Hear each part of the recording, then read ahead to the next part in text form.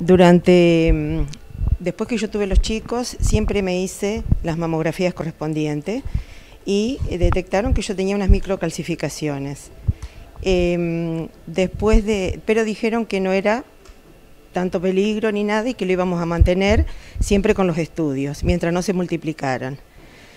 Hace cuatro años, después de que me hice la mamografía anual, como correspondía, eh, ven que se había multiplicado, y mucho, en una de las mamas.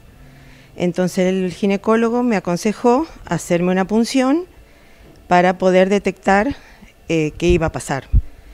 Eh, así que me fui a Rosario, al centro de mastología, donde me hicieron la punción, y bueno, y me dijeron que había que extirpar la mama. Obviamente se te viene el mundo encima, eh, uno no escucha más nada, sabes qué vas a hacer, eh, pero bueno, eh, los médicos siempre tienen la palabra justa. El médico me había dicho que estaba todo encapsulado, que eran microcalcificaciones, que no quería que se transformen en tumor y después empezar con quimio y todas esas cuestiones. Entonces había que sacarlo en ese momento. Para calmarme, me dijo, vos estás teniendo una apendicitis que yo no quiero que llegue a peritonitis. Y eso es que como que me hizo un clic y bueno, eh, decidí hacer... Era el momento justo. Era el momento justo. Decidí hacerlo, me extirparon la mama, me pusieron un expansor y cada 15 días me iban inyectando líquido para expandirlo, según ellos, porque eh, para que no, no tenga después con la prótesis ningún tipo de rechazo. Durante 15, cada 15 días iba a Rosario a colocarme eso y cuando estuvo del, digamos el tamaño que se necesitaba para igualarlo, este, me hicieron la otra cirugía y me pusieron la prótesis definitiva. ¿Hoy ya estás curada en 100%? Totalmente, em, no tuve que hacer quimio, no tuve que hacer rayos, gracias a, haber tomado todos los recaudos necesarios y haberme hecho todos los controles. ¿Cada cuánto te hacías la mamografía? Anuales. Ahora, como indica, como indica precisamente eh, todo esto. Ahora, eh, después que me operaron, cada seis meses. Siempre me dio todo bien y bueno, hice un tratamiento con pastillas que lo terminé, me falta un año todavía, pero eh, yo les digo a todos que hay que hacérselo, hay que tratar de enfrentar, es muy feo cuando te lo dicen, pero es una cosa que tiene solución. Y entonces, si mucha gente se deja o porque tengo miedo, porque no quiero que me hagan, no, hay que hacerlo. Hace un mes aproximadamente se me diagnosticó cáncer de mama. Eh, todo empezó en mayo, haciéndome los autoexámenes, yo descubro una pelotita. Eh, voy a mi ginecólogo, se me hace una ecografía mamaria. Eh, no tenía ningún indicio, ninguna característica de que sea maligno. De todas formas, él me pide una mamografía, me la realizo en Santa Fe, tampoco daba nada, se me pide igual una magnificación, que es una mamografía con las imágenes más ampliadas, y en la magnificación sale microcalcificaciones a controlar cada seis meses. Hasta ahí todo bien, todo normal.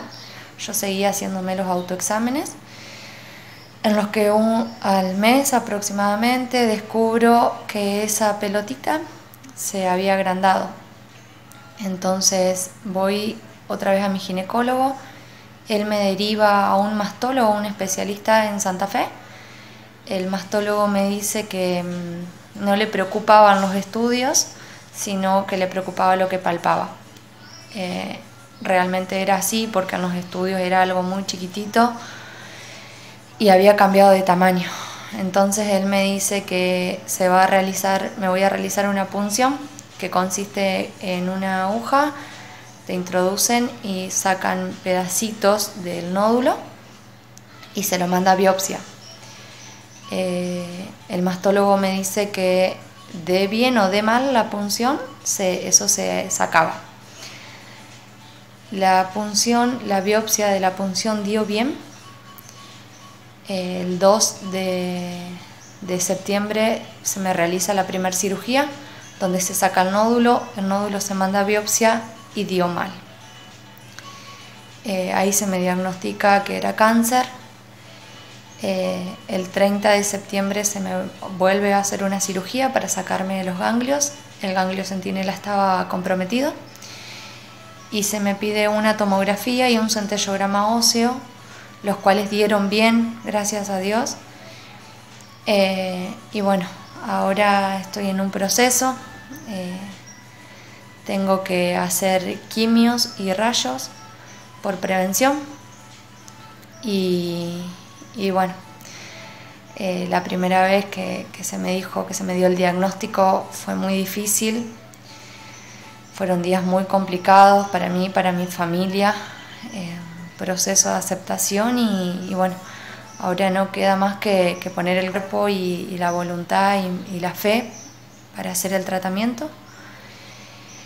Eh, y hoy decido hacer este, eh, dar mi testimonio en forma de concientización, pedirles de corazón que se hagan los estudios, que se hagan los controles, eh, los autocontroles un ratito, no les demanda nada de tiempo. Ir al ginecólogo es un ratito que les puede salvar la vida.